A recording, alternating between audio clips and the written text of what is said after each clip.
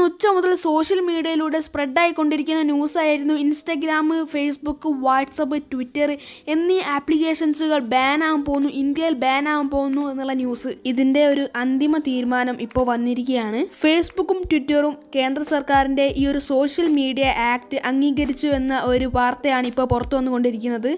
അതുകൊണ്ട് തന്നെ ഫേസ്ബുക്കിന്റെ അണ്ടറിലായിട്ടുള്ള ഇൻസ്റ്റഗ്രാമും അതുപോലെ തന്നെ വാട്സപ്പും ഇനി ബാൻ ആകുമെന്ന ഭയം നിങ്ങൾക്ക് വേണ്ട.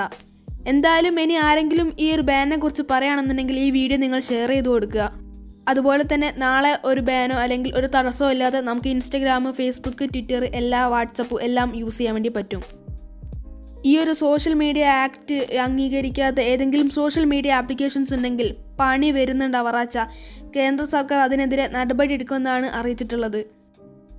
എന്തായാലും എല്ലാ സോഷ്യൽ മീഡിയ ആപ്ലിക്കേഷൻസുകളും ഇത് അംഗീകരിക്കും. കാരണം പ്രമുഖരായ രണ്ട് കമ്പനികളാണ് ഇപ്പോൾ അംഗീകരിച്ചിട്ടുള്ളത്. ഇനി നമ്മൾ സോഷ്യൽ മീഡിയ ആപ്ലിക്കേഷൻ യൂസ് ചെയ്യുമ്പോൾ സൂക്ഷിക്കണം. കാരണം എന്ന് പറയുന്നത് നമ്മൾ ഏതെങ്കിലും തരത്തിലുള്ള രാജ്യദ്രോഹമായിട്ടുള്ള കമന്റുകൾ ഏതെങ്കിലും സോഷ്യൽ മീഡിയ ആപ്ലിക്കേഷൻസുകളിൽ ഇട്ടാൽ അത് നമുക്ക് പണിയാവും പണി കിട്ടും.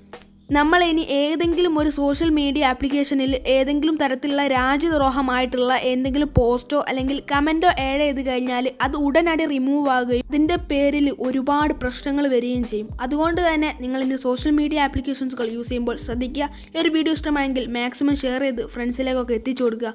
അടുത്തോടെ കാണുന്നവരേക്കും ഇറ്റ്സ് മീ അതിനാൻ സൈനിങ് ഔട്ട് പോലെ പോലെ പോലെ. ഒരു കാര്യം കൂടി. നിങ്ങളെ ചാനൽ ഇതുവരെ സബ്സ്ക്രൈബ് ചെയ്തില്ലെങ്കിൽ സബ്സ്ക്രൈബ് ചെയ്യണേ. കൂടെ വരുന്ന ബെല്ലൈക്കൺ ക്ലിക്ക് ചെയ്യാൻ മറക്കല്ലേ?